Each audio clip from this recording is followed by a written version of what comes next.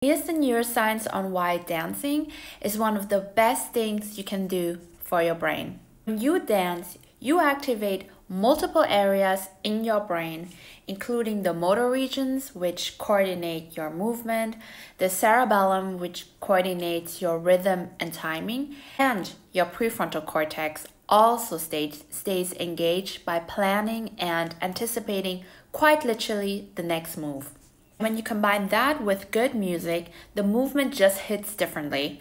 Have you noticed that when you have really good music and you move to it in rhythm, it's almost like you're in a flow state? This is how your brain forms connections that are stronger than just from movement alone. When you're in that flow state, which almost can feel like you're in trance, you lower your body's stress hormones, thereby regulating your nervous system. And of course, if you dance with other people, you bond socially. So it's a social activity as well. So for the new year, I invite you to dance it out. Have fun, go out with your friends, have a good time, dance. Neuroscience shows that dancing is one of the best things you can do for your brain.